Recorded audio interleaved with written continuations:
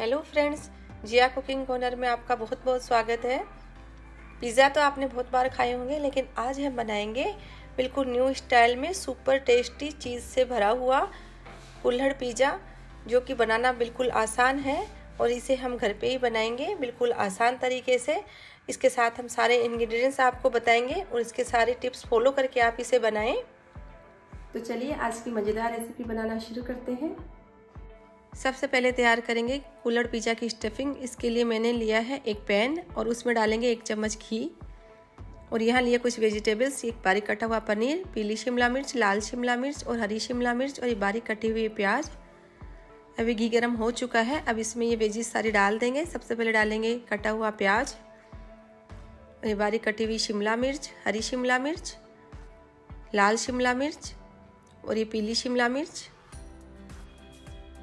अब इन्हें एक मिनट के लिए पका लेंगे। हमने यहाँ ज़्यादा घी का यूज़ नहीं किया है। बस थोड़े से एक चम्मच घी में ही इन्हें हम रोस्ट कर लेंगे ताकि इसमें अच्छा टेस्ट आ सके। आप चाहे तो कच्चे वेजिस भी यूज़ कर सकते हैं कूलर पिज़्ज़ा में, लेकिन ऐसे पकी हुई वेजिस का टेस्ट बहुत अच्छा आता है, इसलिए हम इन्हें पका लेंगे। अब एक मिनट पकाने के बाद इसमें डालेंगे हम बारीक कटा हुआ पनीर। अब इस पनीर को भी हम थोड़ी देर के लिए पका लेंगे। इसे अच्छे से मिक्स कर लेंगे।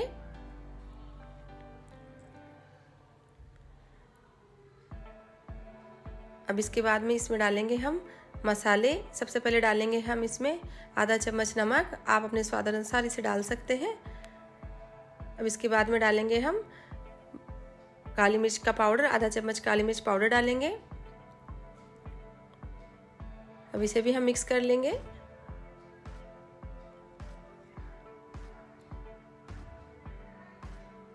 अब इसके बाद में इसमें डालेंगे हम ब्रेड के पीसीस ये मैंने दो ब्रेड ली थी, उसके छोटे छोटे पीसीस कर लिए हैं।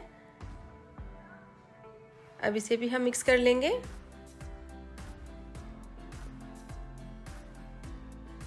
फ्रेंड्स ध्यान रहे ब्रेड के पीसीस सबसे लास्ट में डालने हैं और फिर ज़्यादा नहीं पकाना है।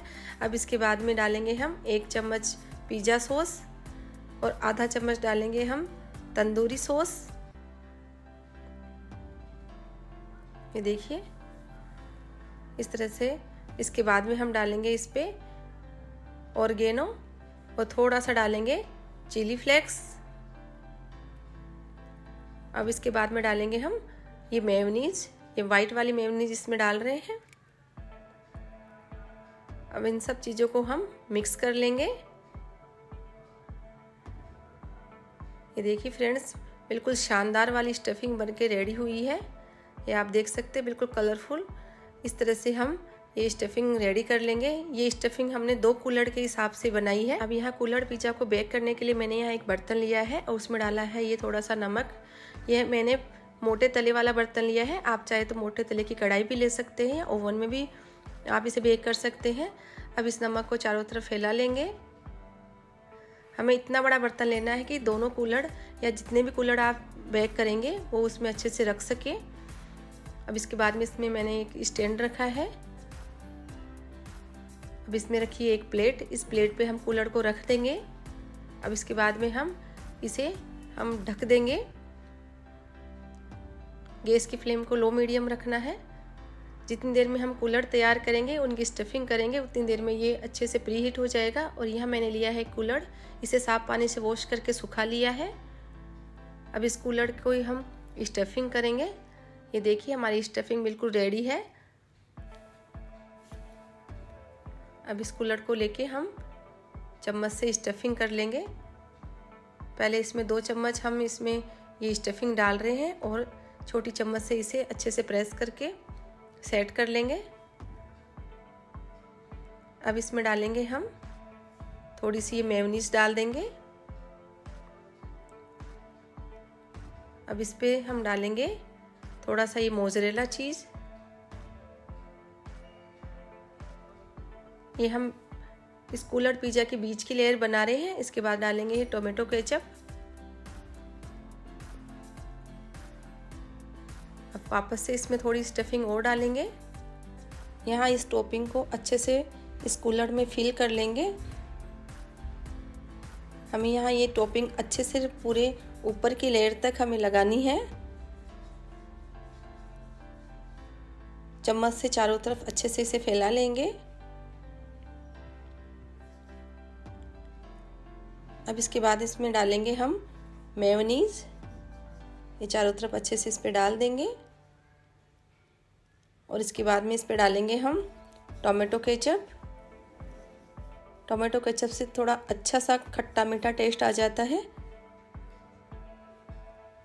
और अब डालेंगे इसमें पिज़्ज़ा का सबसे main ingredient mozzarella cheese mozzarella cheese pizza में अलग टेस्ट लाता है और इसके बिना तो पिज़्ज़ा बनाना पॉसिबल ही नहीं लगता है। वो टेस्ट नहीं आता, यदि हम बना भी लेंगे तो।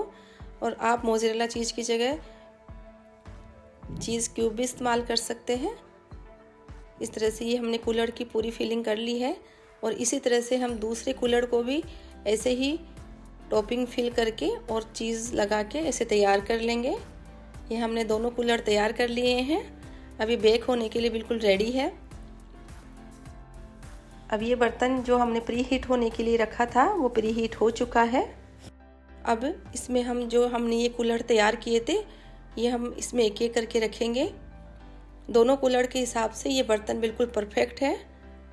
आप यदि ज़्यादा कूलर तैयार करते हैं, ज़्यादा कूलर एक साथ बनाते हैं तो आपको बर्तन भी बड़ा लेना होगा। अब इसे हम आठ से दस मिनट तक बेक करेंगे। ये देखिए, बिल्कुल चीज़ अच्छे से मेल्ट होने लगा है और ये दस मिनट हो चुके हैं। कुल्हड़ पिज़्ज़ा बन के रेडी है। अब इसे हम निकाल लेंगे। फ्रेंड्स, ये देखिए, कितने शानदार वाले कुल्हड़ पिज़्ज़ा बन के तैयार हुए हैं। आप इन सारे टिप्स को और सारे इंग्रेडिएंट्स को यूज़ करके ऐसे कुल्हड़ पिज़्ज़ा आसानी से बना सकते हैं। और ये सबको बहुत टेस्टी लगते हैं। यदि आप इस तरह से कुल्हड़ पिज़्ज़ा बनाएँगे तो सब आपकी तारीफ़ करे बिना नहीं रहेंगे और हर बार इसी तरह से ये कुल्हड़ पिज़्ज़ा बनाएँगे आप। यदि आज की रेसिपी आपको अच्छी लगी है तो वीडियो को लाइक करें शेयर करें चैनल को सब्सक्राइब करना बिल्कुल भी ना भूलें। ये देखिए कितना अच्छा चीज़ फुल इसमें आया है। तो मिलते हैं हमारे नेक्स्ट वीडियो में, तब तक के लिए गुड बाय